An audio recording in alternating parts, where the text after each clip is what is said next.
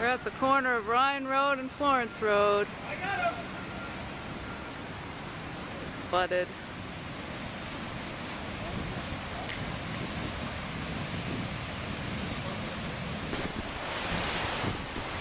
Water's right up to the road.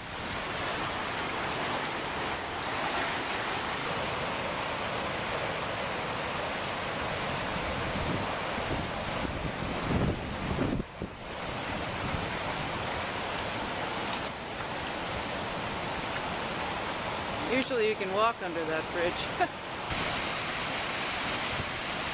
this is the parking lot of the uh, Arts and Industry Building.